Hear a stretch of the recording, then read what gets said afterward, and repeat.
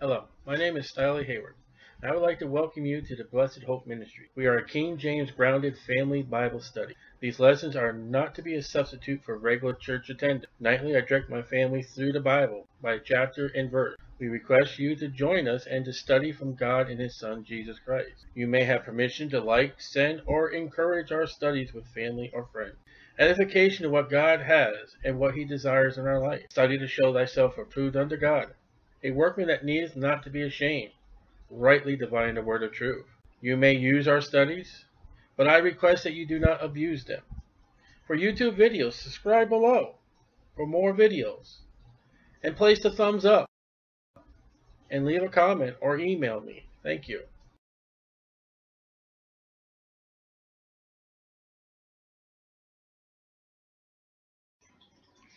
Numbers chapter 16.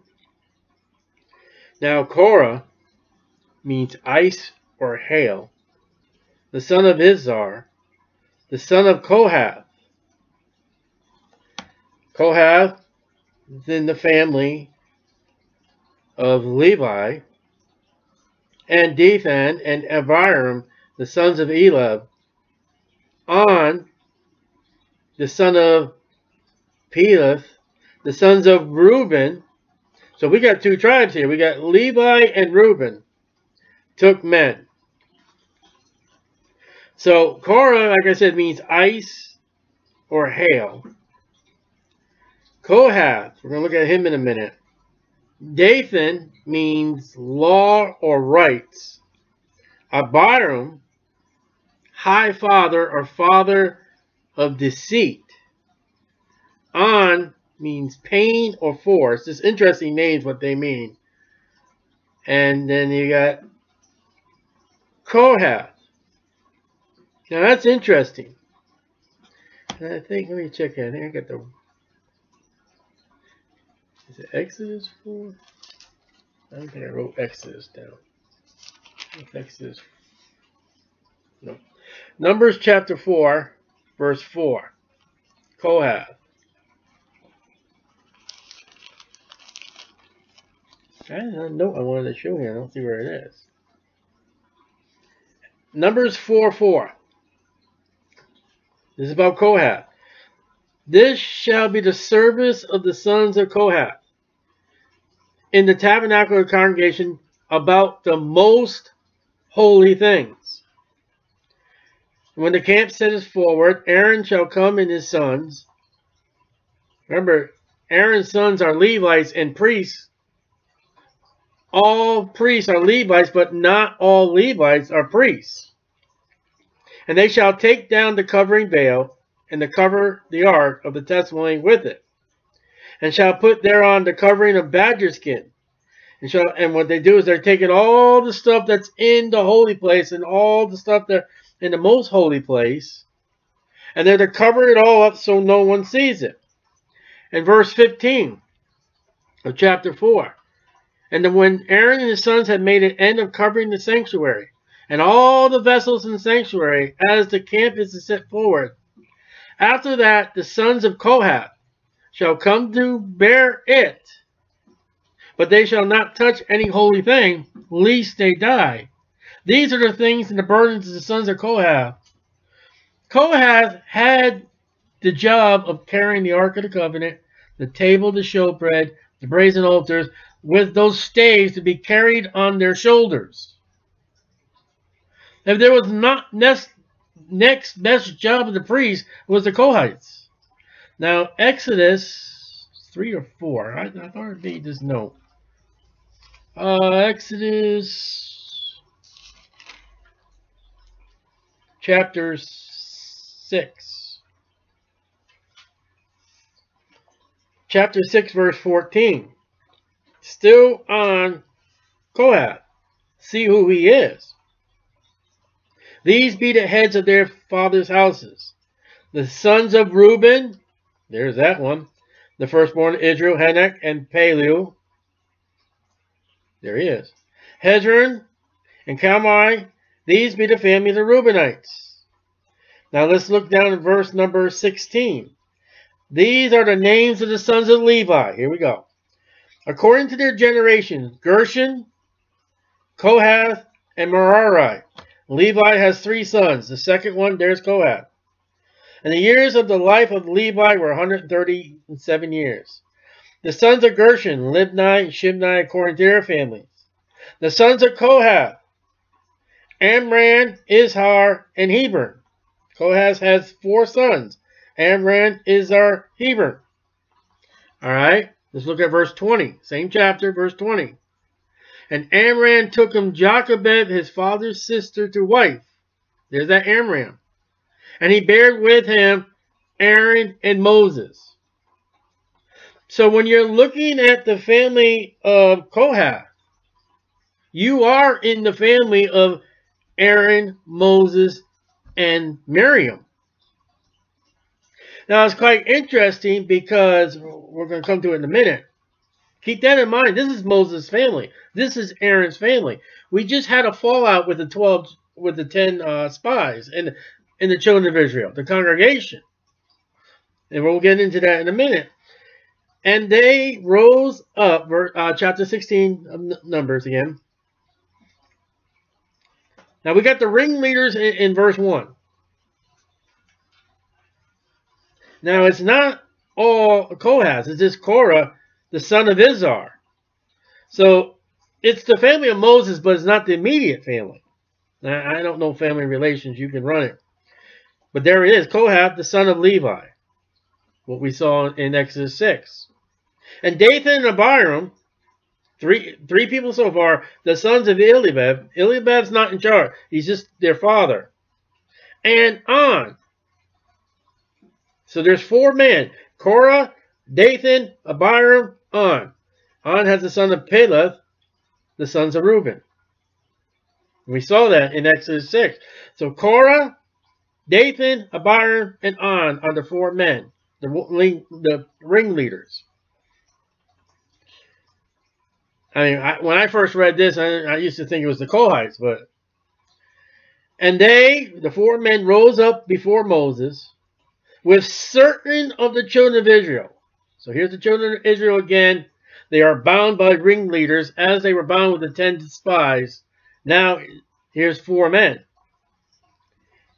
250 princes of the assembly. So this time we're told. Famous in the congregation. They were well known, men of renown. And you saw that in Genesis 6, verses 2 through 4 with the giants. These men are well known. They're famous in the camp. Don't get too famous in your church. Just serve the Lord and do right. And they gathered themselves together against Moses. So all these well-known men and the four men in verse 1 come up against Moses. Moses had a problem. When have you ever seen Moses get a break? And you get these preachers, eh, church had a church split. Read the life of Moses. That guy has had an entire congregation of the entire troops of Israel after him.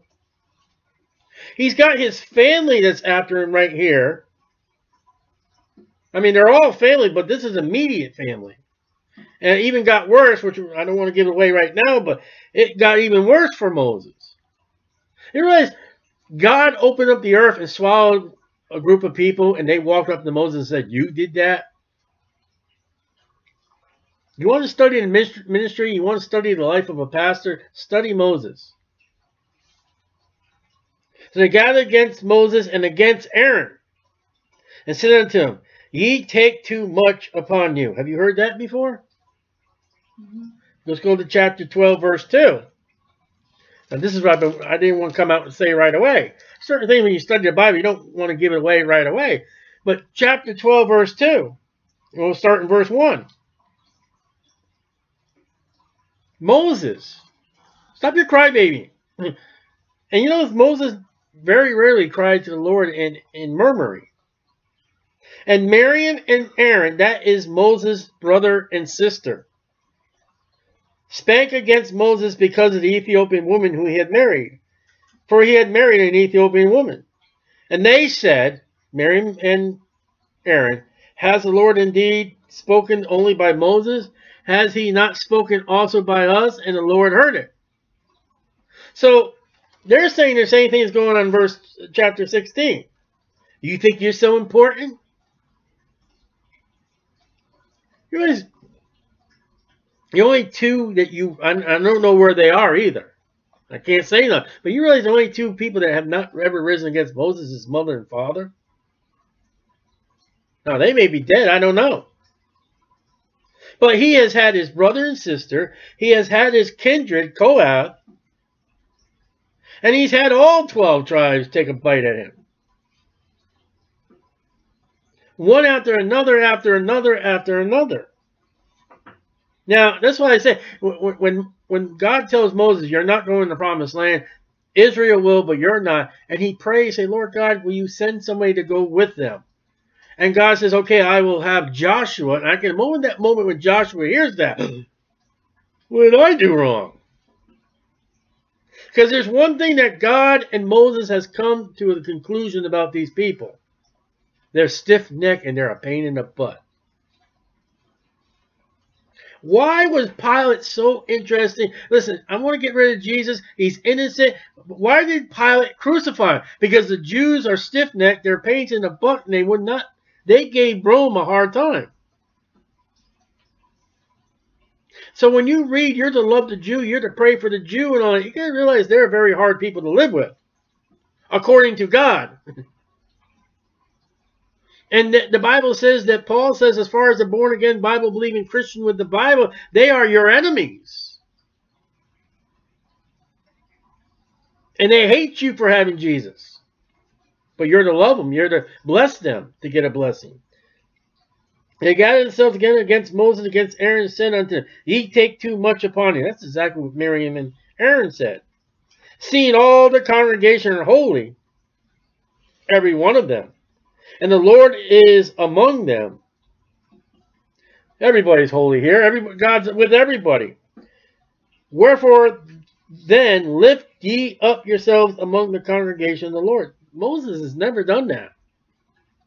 Moses has never put himself up on any high pedestal. And when Moses heard it, he fell upon his face. He hears his complaint, and Moses gets down on his face to pray. How about you, Pastor? And he spake unto Korah. So he gets on his face, he's praying to God, and he looks at Korah. That's his family. And unto all his company. Everybody that's behind him. Say, even tomorrow, the Lord will show who are his.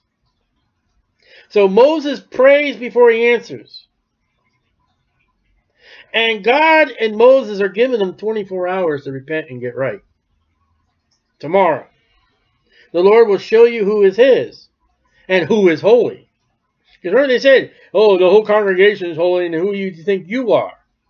God's like, all right, I'll show you who's holy. I'll show you who's right. And will cause him to come near unto him, the Lord. Now, why did he say that? Because Korah is allowed to come before the Lord by carrying upon his shoulders all the instruments of God. Even him whom he has chosen will he cause to come near unto him. This do. Take you censers, Korah, and his company. Ooh, we're getting almost like an Ahab and Abihu here. And put fire therein. Where did that fire come from? And put incense in them. That's not Korah's job. That's the sons of Aaron before the Lord tomorrow. And it shall be that the man who the Lord does choose, he shall be holy. The man, not men, the man. Ye take too much upon you, ye sons of Levi. Moses is angry with his family. You see that? That's his family, Levi. That's his tribe. And Moses said to Korah, Hear, I pray you, ye sons of Levi. Ooh.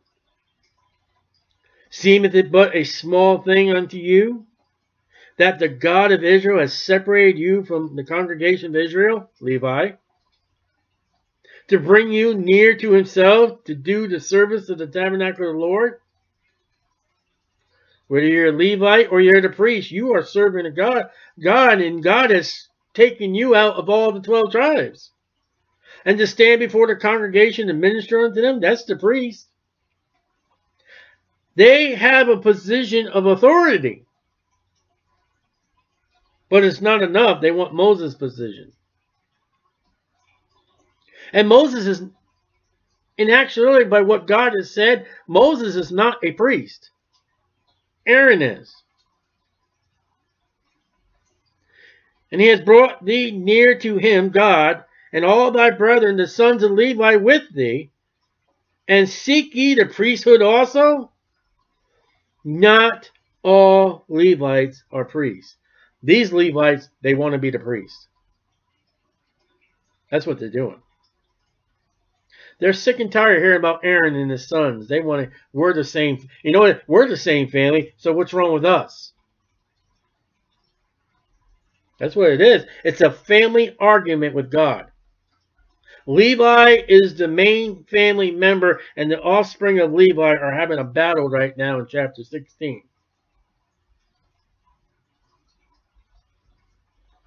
And the rest of Israel is watching this. Remember what we read today? Uh, Abram and Lot had a battle with the herdmen, and the, the people of the land were watching. It's a bad testimony. For which cause both thou and all thy company are gathered together against the Lord and against Moses and Aaron. So if that's the case, the sons of Reuben want to step into the priesthood too. Verse 1. And all these elders and great people renowned, verse 2. By what Moses just said, they want to get into the, look at us, look what we're doing. And what is Aaron that you murmur against him? I'll tell you what Aaron is. He's chosen by God. And Moses sent to call up Dathan and Abiram. Those, verse 1. The sons of Eliab, which said, We will not come up. Dathan and Abiram, come here. Shut up, Moses. We ain't coming to you. So already they have disclaimed the authority of Moses. Verse 12. We're not listening to you.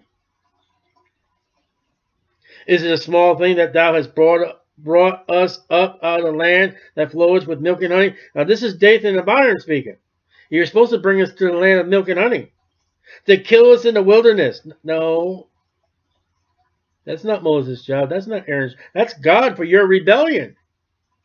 Except thou makest thyself altogether a prince over us. No, God did. You see that they are rebelling against the authority of Moses set by God. Moreover, thou hast not brought us into a land that floweth with milk and honey. No, God said you're not going. Not Moses. Or given us inheritance of the fields and the vineyards. 100% true. By your rebelling and not believing God. Wilt thou put out the eyes of these men? Boy, they're you're going to make these men blind so they can't see anymore? They can't see what you're doing, Moses? What are you going to do, blind them? We see what's going on. You've lied to us. And we will not come up. We're, don't even talk to us no more. We're done with you, Moses. And Moses was very wroth, and said unto the Lord, Respect not their offering. No intercession for these people. Nathan, I mean, I don't know where I get Nathan. Nathan and Abiram. Lord God, if they give an offer, don't even accept it. I have not taken one ass from them, neither have I hurt one of them. And Moses said unto Korah, he turns back to Korah, Be thou and all thy company before the Lord, thou and they, and Aaron. So he balls out Korah and he turns to Dathan and Abiram and says, Listen, come here, I want to speak to you guys. And they're like, No, just shut up. Get away from us. We're having nothing to do with you. And then he turns back to Korah. Come here tomorrow. Bring your censers.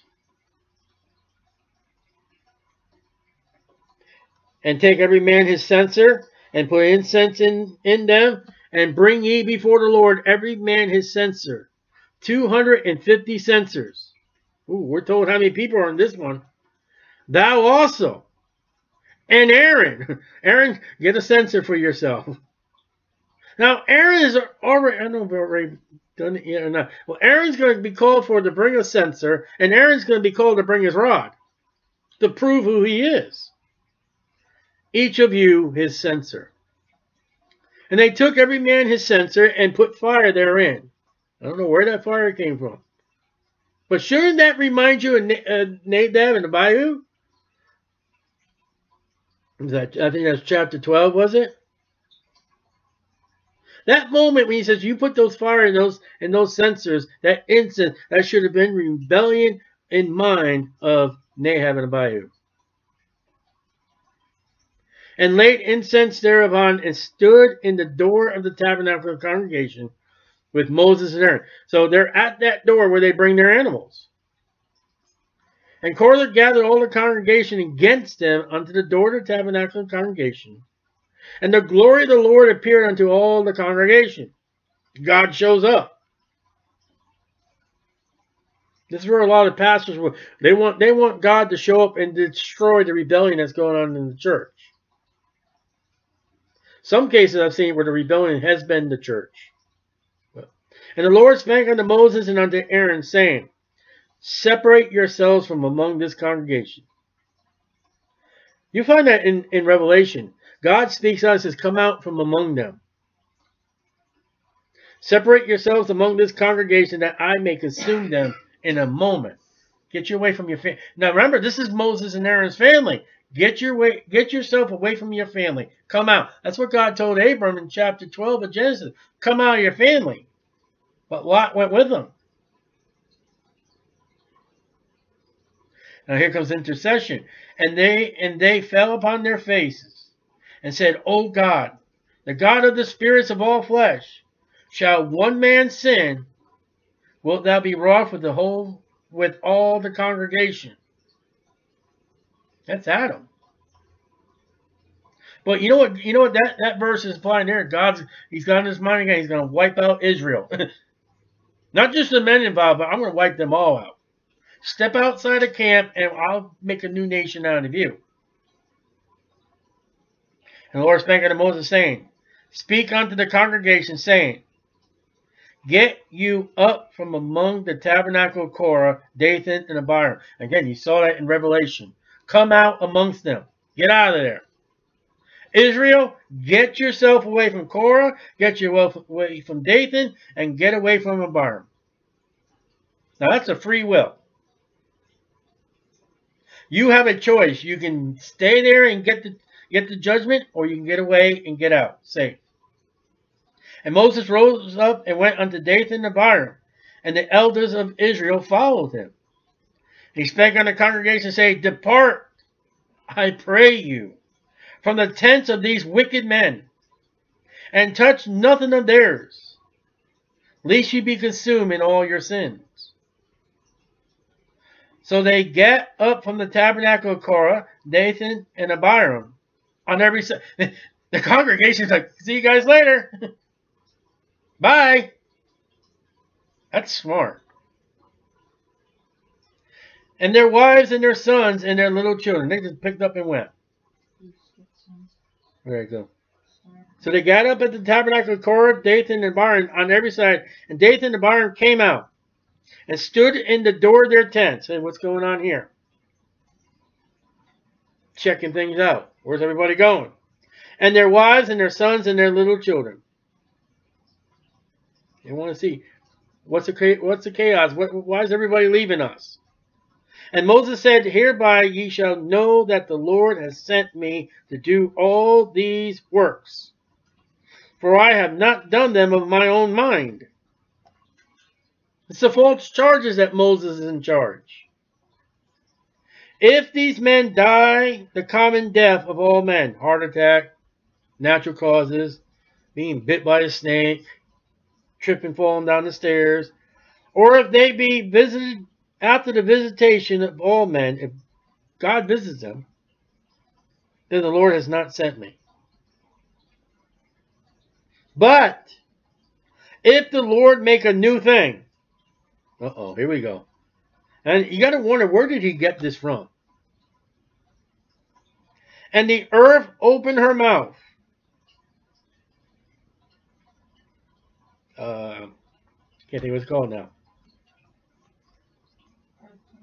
No, when the earth opens up, we've had a few of them here in Florida. Um, Sinkholes. sinkholes. Moses is calling for a sinkhole. And swallow them up, sinkhole, with all that ap- appertaineth, appertaineth unto them. Everything that belongs to Korah, Dathan, and Abiram are going to go into this sinkhole. Now, this is no ordinary sinkhole. This is almost like the Passover night. If there's no, if there's blood in the door, okay, I'm not touching you. You ain't got no blood, you're dead. If you belong to Korah, Dathan, and Abiram, I'm going to swallow you up. They go down quick into the pit. That's hell. Then ye shall understand that these men have provoked the Lord Jehovah. And it came to pass, as he made an end of speaking, all these words, he hasn't even finished yet, that the ground clave under, the ground clave asunder, that was under them. And the earth opened her mouth, sinkhole, and swallowed them up as sinkholes would do, and their houses, which sinkholes do, and all the men that appertaineth unto Korah, and all their goods. Okay, ruling out certain people. But all the people got out when Moses told them who wanted to get out. And they and all that appertained to them went down alive into the pit, sinkhole. Now this is where the sinkhole ends, and the earth closed up upon them. It'll, everybody falls, and then closes right up. Fixed itself. It healed itself. And the earth closed up upon them, and they perished. For God so loved the world that he gave his only begotten Son, that whosoever believes in him should not perish. What's perish? You just read what happened to perish. They went down in the pit. That earth opened up, and they went right down straight. Soul, body, and spirit went straight to hell. That's perishing. From among the congregation. The congregation saw it. And their houses went. Burnt up. Everything they owned went. And they're still there in hell today. It's funny because you can say, well, you can't take it with you. Uh, what are their names again? Abiram, Dathan, and Korah took their stuff with them to hell. Didn't do them no good, but there it is and all Israel that were round about them fled at the cry of them. They're crying out in misery and woe and gnashing of teeth. For they said, Least the earth swallow us up all. Now, Israel, while this is happening, they're going in utter chaos, running and screaming, while, uh, while the men are falling into the pit are screaming because they don't want to fall in. And there came out a fire from the Lord. Because they offer fire like they in the bayou. So the earth's opening up and they're falling off in that. I guarantee, eh, it doesn't say it, but the pit. I guarantee if you were able to look down that pit, I guarantee you would be able to see hell. Hell is fire. Jesus never preached about hell, they said. And here comes fire that's from the earth in the pit of hell, and there's fire coming down from God out of heaven. And consumed the 250 men that offered incense. There's Nahab and Abihu. There's that fire they put in there. There's that story. Hey, that Nahab and Abihu, when Moses said that, it should have came into their mind and say, uh-oh, something happened like this, and we're going to, uh, you need to get right. And you just picture them having a body who they're down in hell while their family enters into hell being burnt, just like they were.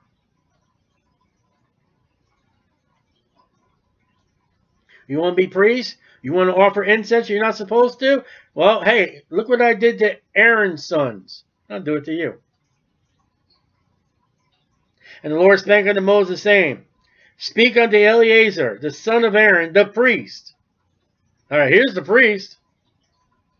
Take he, I mean, that he take up the censers out of the burning, just like Nadab and Abihu.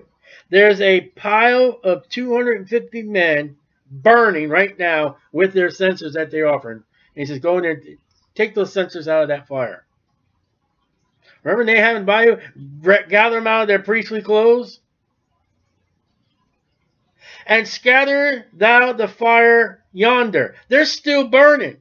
Go in there and get those get those incense uh, lavers that they put in there, the censers. Take them out, screech out the fire. For they are hallowed holy. Because they've been in the presence of God. The censers. The censers of those of these sinners against their own souls. They're in hell. Let them make them broad plates for the covering of the altar. So now the altar is going to get a covering of these censers. And people, when they approach that altar, which is the first thing they see when they go into that congregation of the tabernacle, they will see that altar. They will now see the, these plates. And it's to remind them of the rebellion that just happened in this chapter. For they offered them before the Lord. It's an offering to God. God accepted it. It cost their lives. Therefore they are hallowed. And they shall be a sign unto the children of Israel. Don't you dare rebel again. And Eleazar the priest took the brazen censers, wherewith they that were burnt had offered. And they made broad plates for the covering of the altar. This wasn't when they originally built the altar. This is an addition. All Israel can see these plates. To be a memorial unto the children of Israel, that no stranger, Korah was a Levite, but he wasn't a priest. Dathan and Abiram were not priests. No stranger which is not of the seed of Aaron all priests are Levites, but not all Levites are priests. Come near to offer incense before the Lord, that he be not as Korah and as his company, as the Lord said unto him by the hand of Moses. Now remember, Korah and his company came in, in with the censers. Only Dathan and Abiram said, no, we ain't going to listen to you. We ain't going to do nothing with you.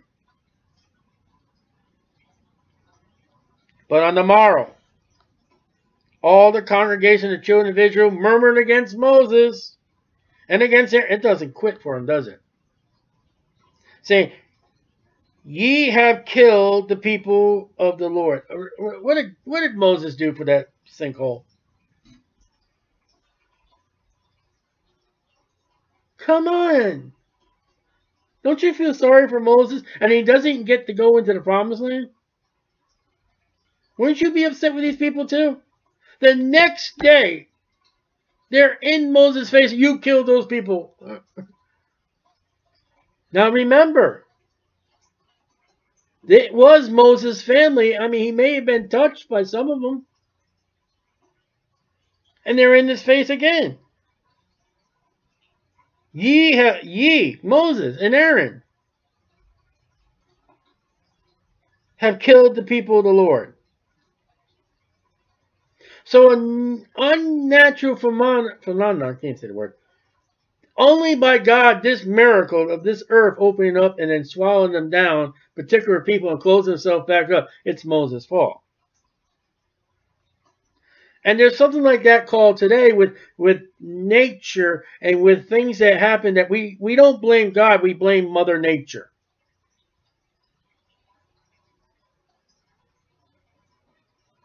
We got to get our eyes off God.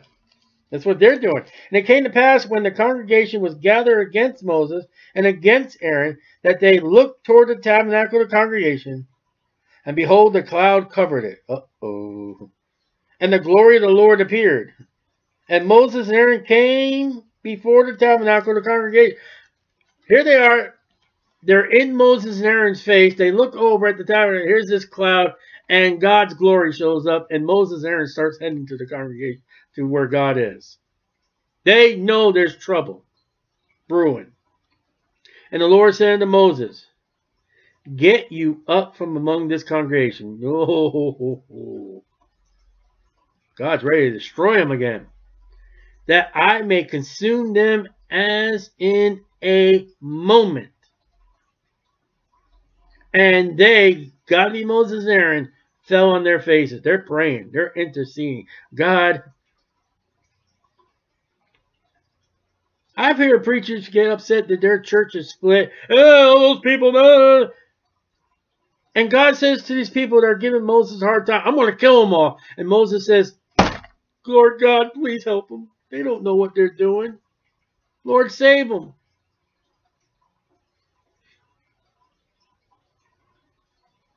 That's remarkable. And Moses said unto Aaron, now watch this. Take a censer. we just had a problem with censers. You ever notice all the troubles you got with, with the incense in the Bible? There's a king that walks into the holy place and he's offering incense and he gets leprosy. We open up the, the Gospel of Luke with a man that's in the holy place offering incense to prepare the way of John the Baptist for Jesus Christ. There's two sons of Aaron. Aaron, take a censer. We just lost our family because of censers. I lost two boys because of a censer and put fire therein. Uh, Moses, what do you want me to do here? I just had a problem with my boys. We just had a problem with our family. You want me to... Doesn't that sound weird for Moses to tell Aaron after we just lost a whole congregation of people with censers and fire? Watch this, though. Now, here comes Aaron. He's sweating. Take a censer and put fire there Moses from off the altar. Oh, whew, that's what I'm supposed to do. See that? From off the altar. You're the priest. You get that fire off the brazen altar and you go in there, you get some incense, you get the, that's the proper way. That's where Moses that's where Aaron wipes his forehead and put on incense. And go quickly unto the congregation and make an atonement for them. That's the priest's job. For there is wrath going out from the Lord. He that has the Son has everlasting life. He that has not the Son shall see, shall not see life, but the wrath of God. The plague be the plague is begun. We are priests, according to Revelation 1. We're to go out amongst the congregation, the world, the creatures, and tell them the wrath of God is coming and make an offering for them to, to get right with God. Um, yeah, I'm just trying to think. Aaron's quite old. Let's see real quick where he dies. Oh, find the notes here where Aaron dies. Oh, I know my note says Aaron dies. Let's see if we can find it real quick. Yeah, well, Aaron is an elderly man by now. You just see this elderly man running around with the incense amongst the people. And the Roman Catholics have stolen this idea. You know, when the priests come walking into the assembly of the church with that smoke that stinks. Mr. Graham, that smell. And Aaron took as and Aaron took as Moses commanded, and ran in the midst of the congregation. He's running, ran. He ain't walking. He's in a hurry to help his people who had just been hitting on him and ragging on him, and in his face, he's running amongst them to help him. And behold, the plague has begun among the people. And he put on incense and made atonement for the people. And he stood between the dead and the living. And the plague was stayed. On one hand Aaron, there are dead men. On the other hand, on Aaron, with, with the smoke in that incense, are people alive. Now they that died in the plague were four, were 14,700. besides them that died about the matter of Korah. So there were addition. God said the next 40 years you're going to die in the wilderness, and they're already dropping. And Aaron returned unto Moses unto the door of the tabernacle. Moses is still at that tabernacle, and Aaron ran out. And the plague was stayed because of Aaron. He loved them people enough. He said, I'll, I'll, I'll do what I can, Moses, to help them. After all what they've done to you, what they've done to me, what they've done against God, if I don't do this, God's going to wipe them totally out. That's how angry he is.